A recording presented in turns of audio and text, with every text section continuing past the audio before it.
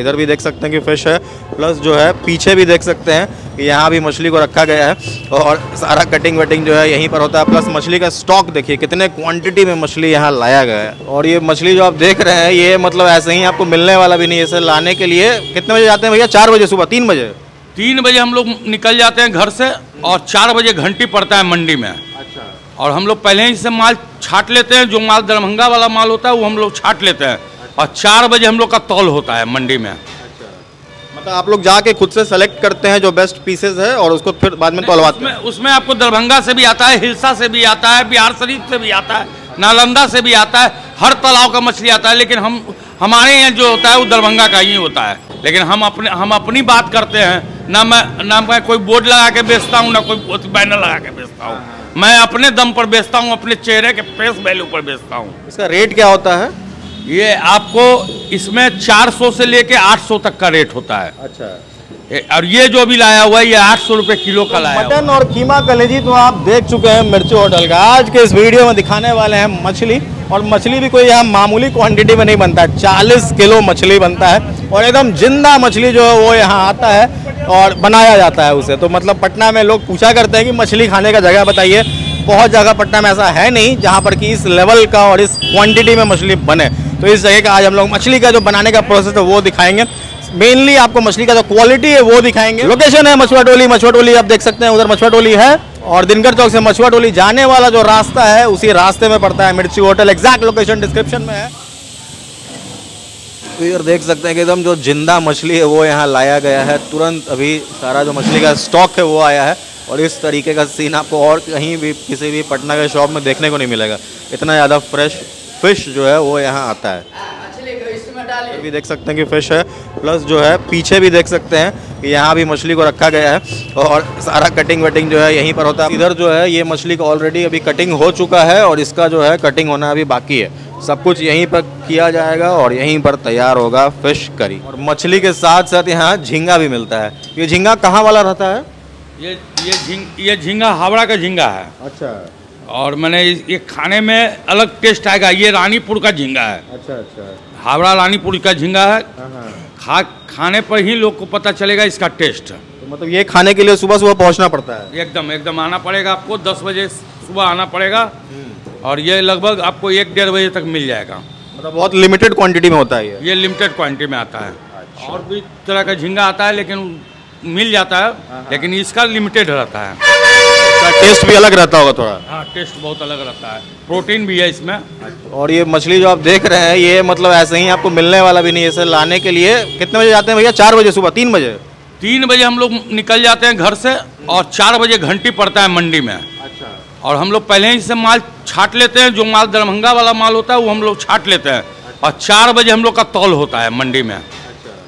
मतलब आप लोग जाके खुद से सेलेक्ट करते हैं जो बेस्ट पीसेस है और उसको फिर बाद में तोलवाते हैं। उसमें आपको दरभंगा से भी आता है हिलसा से भी आता है बिहार शरीफ से भी आता है नालंदा से भी आता है हर तालाब का मछली आता है लेकिन हम हमारे यहाँ जो होता है वो दरभंगा का ही होता है।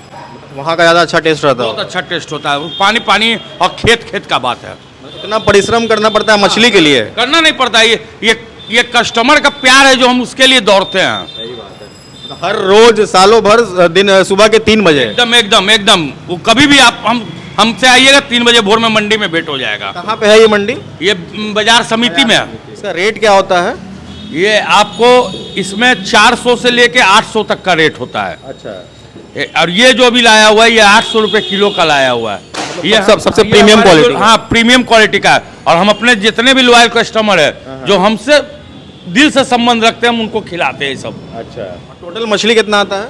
टोटल 40 किलो आज आज के डेट में ऐसे आने के लिए 50 किलो भी आता है 60 किलो भी आता है लेकिन अभी मार्केट के हिसाब से 40 किलो ही हमारा खपत पर डे हो रहा है। लेकिन हम अपने हम अपनी बात करते हैं ना मैं ना मैं कोई बोर्ड लगा के बेचता हूँ ना कोई बैनर लगा के बेचता हूँ। मैं अपने दम पर बेचता हूँ अपने चेहरे के फेस वैल्यू पर बेचता हूँ। अपने मेहनत के दम पे बेचते हैं। हम्म, हम्म, बिना किसी बोर्ड के भी 40 किलो मछली बेच दे रहे हैं जो कि मेरे हिसाब से पूरे पटना में शायद ही कहीं मिलता होगा। प्रॉन के लिए।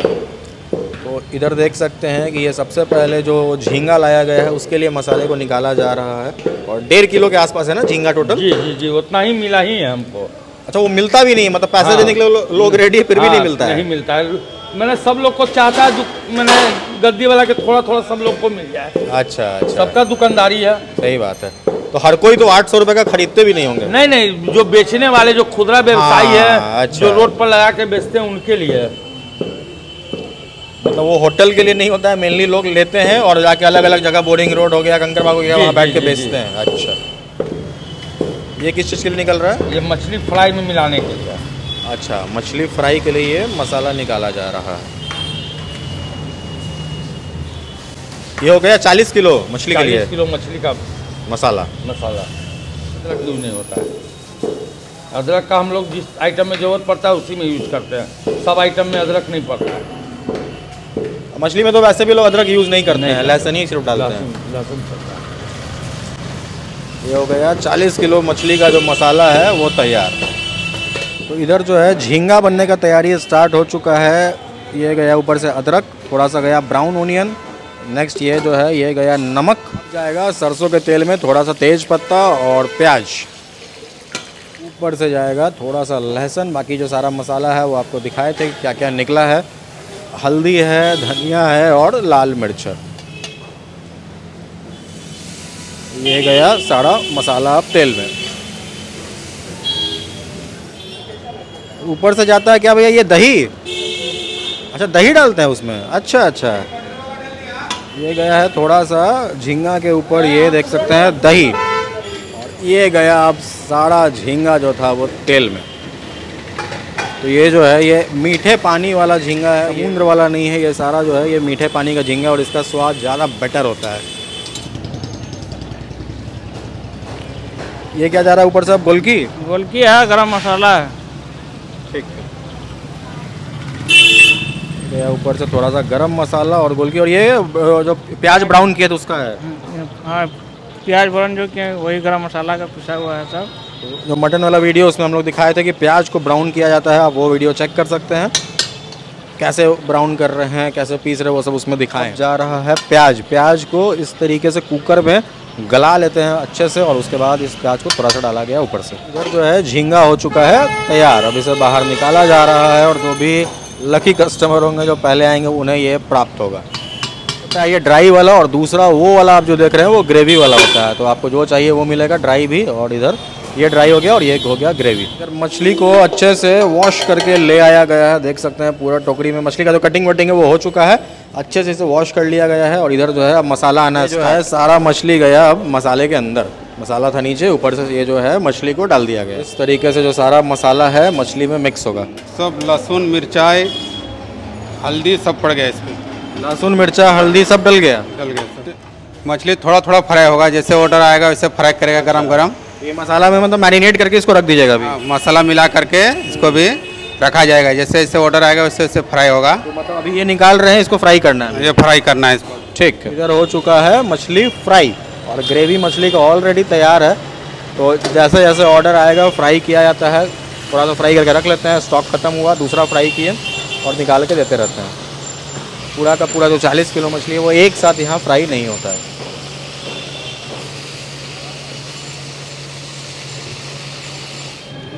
ये भैया मछली रेडी हो चुका है। ये तो कस्टमर लोग आए हुए हैं मछली के लिए आए हैं। मछली मछली लिए आया कस्टमर मछली उसको दे रहा है। मछली है तैयार हो गया। तो इधर देख सकते हैं कि जो झींगा था वो तैयार हो चुका है और क्या रेट होता है इसका? डेढ़ सौ रुपये क्वार्टर और कितना पीस रहेगा लगभग? छः से सात तो इधर आ चुका है दो अलग अलग किस्म का मछली। एक तो ये जो है ये हो गया नॉर्मल वाला मछली रोहू जो है। एकदम ज़िंदा लाते हैं, यहाँ बनाते हैं और इस मछली में प्याज भी डलता है। कहीं भी हम लोग मछली देखते हैं, वहाँ प्याज नहीं डलता है, सिर्फ़ सरसों के बेस पे बनता है बट यहाँ देख रहे हैं कि प्याज भी डाला गया है। और ये जो है, ये हो गया झींगा। रेट की बात करें तो ये है एक सौ का क्वांटिटी आपको इतना नहीं मिलेगा, ज़्यादा मिलता है। छः सात पीस के आसपास ये झींगा जो है, रहता है। और ये जो है, एक सौ में तीन पीस दिया जाता है। इस साइज़ का पीस होगा, तीन पीस आपको एक सौ में दिया जाएगा। विथ चावल लेते हैं तो शायद वन सेवेंटी बताए थे, चावल और मछली का रेट चावल भी थोड़ा ज़्यादा होता है, हम थोड़ा कम लिए सबसे पहले ये ट्राई करते हैं प्रॉन को पहले। आठ सौ रुपये किलो वाला बताए हैं कि प्रॉन है।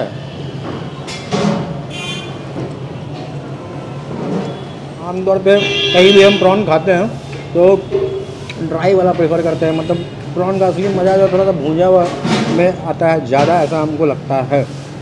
ये गड़बड़ हम क्या किए ग्रेवी वाला ले लिए अगर उनको बोले होते वो ड्राई करके देते वो ज़्यादा बेटर लगता। है ये भी बहुत सही है।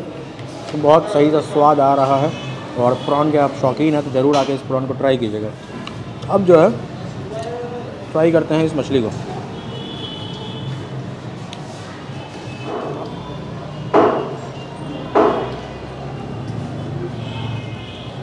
हम्म, चिकन के साथ क्या है कि स्वाद जो है वो मसाले से आता है। मछली के साथ क्या है कि मसाले के साथ साथ जो मेजर रोल है वो प्ले करता है मछली का क्वालिटी और मछली का फ्रेशनेस और ये जो मछली है, ये खाते साथ आपको रियलाइज़ होगा कि इस मछली को लाने के लिए कितना मेहनत किया गया है। सुबह के तीन बजे से उठ के जाते हैं, मछली को लाते हैं, तब जाके ये क्वालिटी ये फ्रेशनेस जो है मिल पाता है। और बताएँ दरभंगा वाला मछली और एकदम ताज़ा ताज़ा मछली। और एकदम ताज़ा ताज़ा जो है, स्वाद इसका आ रहा है। एक बाइट और लेते हैं, उसके बाद चले इतमान से। ये जो मछली चावल का भोज है, इसे खाते हैं। दरभंगिया मछली चावल को खाते हैं इंजॉय करते हैं। कमेंट कीजिए, आप बताइए, आप वीडियो इन्जॉय किए कि नहीं? और अगर इन्जॉय किए तो आइए लोकेशन बता चुके हैं आके यहाँ खाइए और अपना एक्सपीरियंस बताइए। Thank you so much